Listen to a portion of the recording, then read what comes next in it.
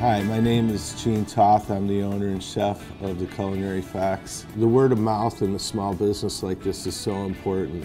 I use Office Max to do a lot of my copy work. They do small advertising uh, posters for me. By Office Max giving us all these good things to work with, it's really helped us grow.